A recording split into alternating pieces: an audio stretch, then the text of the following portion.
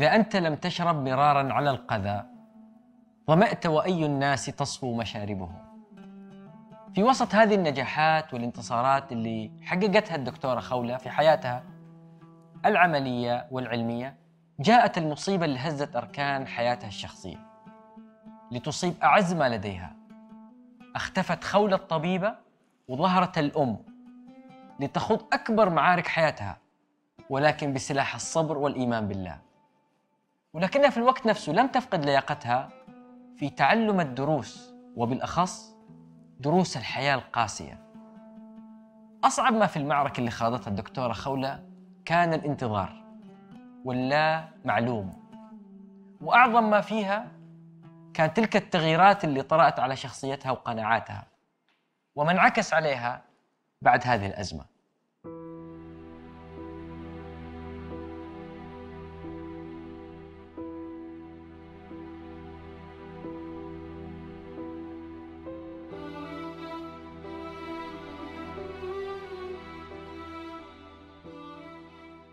يمكن أكبر تحدي واجهني بعد عودتي على المستوى الشخصي. وما زال آه، أنظر له أكبر تحدي آه، لي كان آه، مرض ابني نواف. ابني نواف عمل الصف الثالث ثانوي في المملكة. وكان صغير في عمره. ومصر آه، يعني يبغى يكمل في الولايات المتحدة الأمريكية وجاء له قبول آه، في في بوسطن ومبسوط فيها. وراح آه، وأنا كنت مبسوطة في قبوله رغم إنه يعني ما أدري هو قلب الأم أكثر من إنه يعني الإنسانة المتعلمة. ما كان لي رغبة كثير إنه ابني يروح البوسطن في ذاك الوقت. لكنه آه، راح. بعد شهرين من التحاقه في في الجامعة مبسوطة فيه. وأول ولد لي ويكون في في الجامعة. آه، قررت إني أروح أزوره. كان الجو في ذيك في ذاك الوقت بارد جدا. والولد يعني كان في فرحان ومستقل و في عنفوان يعني خلينا نقول مرحلة المراهقة. فهو طمنت عليه طمنت على وضعه. آه، هو موديني للمطار والجو بارد كان جدا. ويعني تعرف الصغار طالع شعره مبلول ف قلت له يعني الجو بارد. قال أوه يعني بطريقة إنه ما عجبه ما عجبته النصيحة يعني إنه انت كل شيء بارد هذا لسه ما جاء البرد الشديد. وحاول يعني يفتح معاي موضوع يعني أنا أتكلم لك بصورة يعني شخصية جدا وأول مرة يعني أتكلم في هذا الموضوع. حاول في ذاك الوقت آه، إنه يقنعني في إنه يعيش آه، عيشة مترفة كولد فلان وولد فلان وولد فلان. أنا طبعا هذا الشيء ازعجني ولعبت دور الأم الصارمة وقلت له لا إنك تكون في دراستك. ونزلت للمطار وأنا مسوية حالي زعلانة. فركبت الطيارة من بوسطن لندن من لندن للرياض. آه ابني آه آه ما كلمني. جلست كم ساعة جاء وقت صلاة الفجر. أتذكرها يعني آه بكل تفاصيل هاللحظة فقلت آه أنا أكلم عليه و... وأطمن عليه. وإذا كان خاطره متضايق يعني أحاول إنه اتصلت رد علي آه رجل آه، أمريكي. قلت له هذا رقم نواف نواف الثاري. قال لي أنت قريبة آه، يعني تقربي تقربين له أنت من أقاربه. قلت له أنا والدته. قال آه، ممكن تجينا لل للمستشفى ماس جنرال؟ في لحظة من اللحظات سألته قلت له نواف متوفي؟ قال لي بالضبط بالإنجليزي. قلت له is he dead قال لي not yet لسه. أنا هذه الكلمة آه، ما أقدر يعني ما أقدر أوصف لك آه، يعني ما أدري صراحة. صعب صعب تعبيرها يعني صعب صعب وصفها إلى الآن لما أتذكرها يصيب يعني ما أدري إذا أنت تسمع عند أهلنا البدو اول يقولون فلان من الروعجه ام الركب. هذه كنت أعتبرها مزحة. أنا مو جتني أم الركب أنا جاني يمكن شلل كامل. في سجادتي ما قدرت أتحرك يعني. لا أنادي أحد لا أتكلم مع أحد لا اتصلت في أحد لا بلغت آه كأنه شيء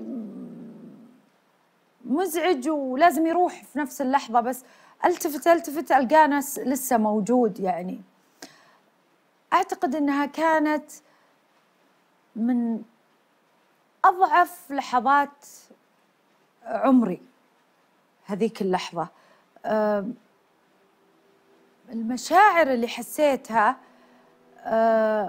أول شعور أنا عشان كذا أقول أول شعور الحين ما أدري ابني وش وضعه. تحس كطبيبة أنه أنا سألت شو وضع الولد لما قال لي نتيت. أنا قفلت الخط منه. لا سألت وش الوضع لا سألت ليش هو في المستشفى. عملية التفكير تحتاج عملية.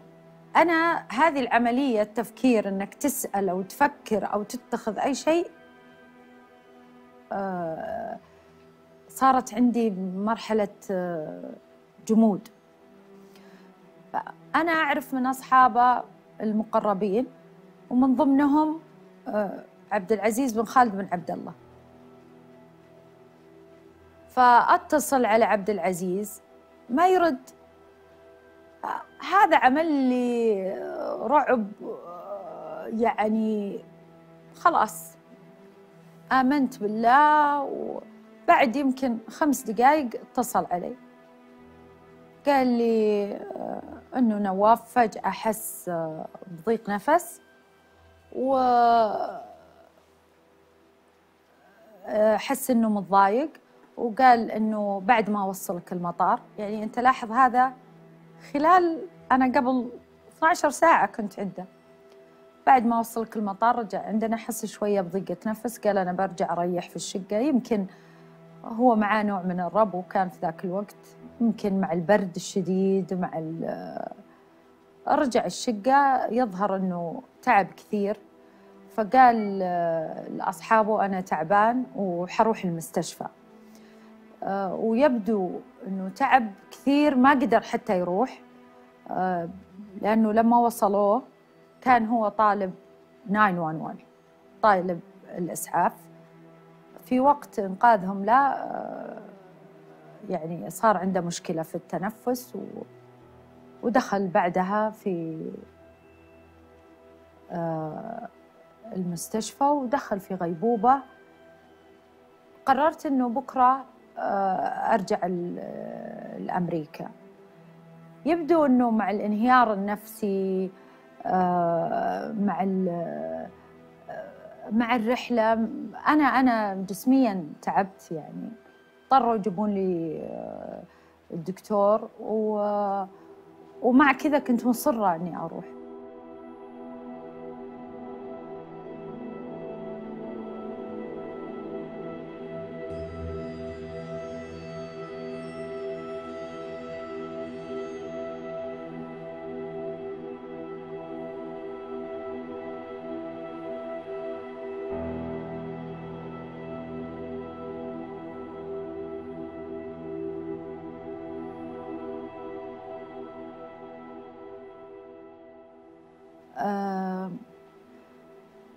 مرحلة من من الحياة قد ما كان فيها ألم قد ما فيها آه، أعطتني دروس. أعتقد يمكن أهم دروس الحياة بالنسبة لي لأنه كيف كان في مستشفى فيها أفضل وأعرق دكاترة في العالم وكيف يقولون لي ما نعرف. آه، الولد عنده كان مشكلة في الرئة اضطرينا ندخله في ال في ال في الكوما. رئتينه ما تتحمل إنه يتنفس آه، آه، طبيعي. وما نقدر يعني تعرف الأمريكان يعني هذه طريقة أنا ما حبيتها فيهم.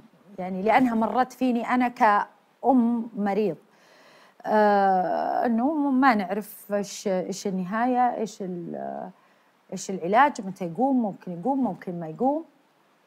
في ليلة من الليالي يعني يمكن لو أقولها لأحد وأنا ماني بدكتورة يقول هذه قاعدة تحكي لنا حكاوي. توجهت بيقين يعني في سجادة الصلاة جنب ابني. يعني هذه لما اتذكرها هذه دموعي حقيقي بكل يقين. تعرف لما الإنسان آه، يمكن أقول لك تعرف بس ما قليل فعلا اللي يعرف. توجهت بكل ما لدي من من من اضطرار ربنا. و ودعيته.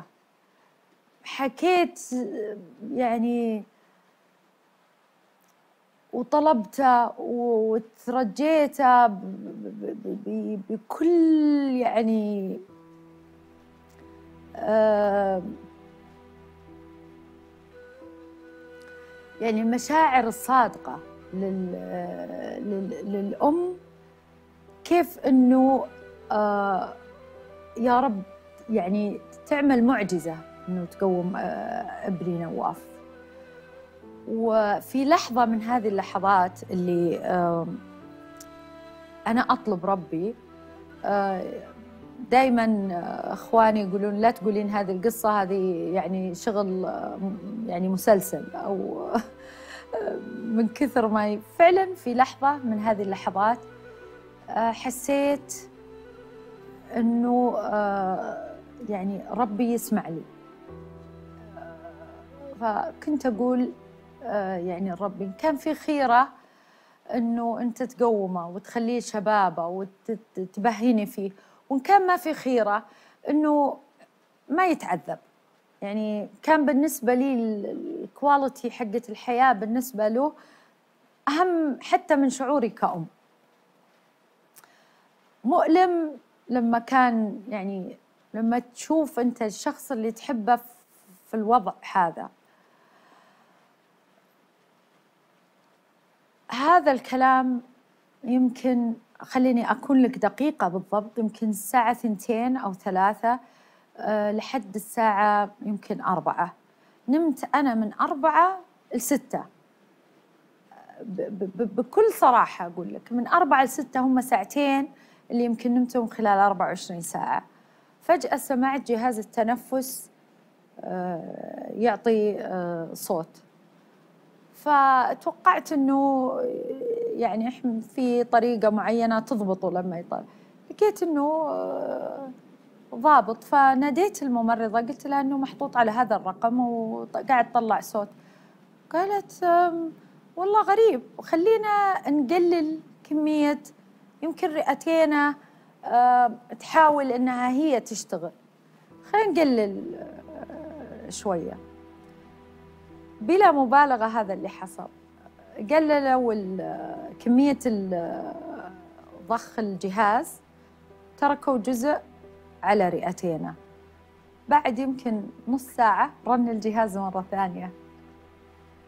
أنا هم طبعا مو مصدقين يقولون إنها تصير في مرضى اللي فيهم آه، كذا ما أدري إيش اللي عنده غيبوبة أحيانا يختلف تقبلهم. أنا سجدت شكر ربي. قلت لهم ابني قايم. ابني حيقوم. طبعا آه، هم كانوا يعتقدون إنه مع المدة ومع الجلسة إنه بديت آه، كأم إنه غيرت قللت ربع ساعة. في الأخير نادت الدكتور. يعني لسه ما كان ما وصلت الساعة سبعة وربع كان يجي الدكتور يمر عليه. شاف قال آه، هذا شيء ما أعرف ما أعرف كيف أفسره. لكن إنه خلال يوم يقدر يستعمل رئتين بهذه النسبة بعد كذا ما حنقدر نحط الجهاز لازم نسحبه. أنا حمر عليه بعد آه، ساعتين. مر عليه بعد ساعتين قال لازم نسحب الجهاز. يعني أنا أقول لك شفت لو الواحد آه، آه، ما ما أكيد يعني أكيد فرحتي أكبر. لو تعطيني الدنيا كلها ما تعادل فرحتي لما قال بنشيل الجهاز. الآن الأمريكان لازم يعطونك شيء.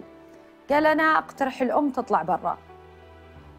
ليش أطلع برا؟ قال لأنه انا إحنا عاملين كل شيء بطريقة علمية لكن ما نضمن آه، إيش الضرر اللي صار على الدماغ أو على أي عضو ثاني. حتى نتأكد إنه كويس ما نحب الأم تكون موجودة. قلت والله تطلع تنزل تجيب لي إن شاء الله البوليس. ما رايحة تبي تشيل منا الأجهزة وأنا ماني موجودة هذا مستحيل. حاولوا جابوا الطبيب آه، حق ال- النفسية يحاول يقنعني ويبين لي وال أنا ما عاد أسمع. يعني حقيقي يتكلمون صدى صوت بالنسبة لي يعني أنت قاعد تقول لي ابني بتشيل منه الأجهزة وبيرجع وتقول لي أطلع برا. فجلست في غصبا عنهم. جلست في الغرفة. أنا عيني على ابني نواف.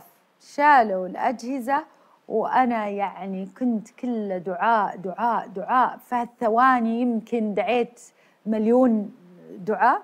شالوا فتح آه، عيونه. قال ماما؟ أنا سمعت ماما ولا ما سمعتها في ال... يعني سجدت الرب شكر يعني امتزجت الدموع مع الشكر الربي مع ال... فالأمريكان لازم أقول لك يكسرون الفرحة. قال لي اصبري يعني الولد لسه بعد الأدوية يعني خفي عليه. قلت ما نواف أنت عارف أنت فين؟ قال فين ماما؟ إحنا في المستشفى. آه قال لي أشوف مراية. قلت أنا أصير لك مراية بس أنت أنت وأروح أركض أجيب له المرايه شاف شاف قال شعري طال وإيش هذا ليش أنا شكلي كذا؟ قلت طول شعرك يوصل للأرض جدله حتى يعني ما عندي أي مشاكل. الحمد لله يعني حتى من كثر ما تفاجئوا الدكاترة من إنه قام لا إله إلا الله والحمد لله والمنة لله رب العالمين وعاجزة. يعني إحنا عاجزين عن شكر ربنا في كل الأحوال لكن أنا بعد هذا الكرم من ربي آه تغيرت 190 درجة. آه ما يمكن عمل وهذا يمكن المفروض ما أقوله صغير أو كبير آه أعمله في حياتي إلا يكون هدفي آه، آه، رضا رب العالمين.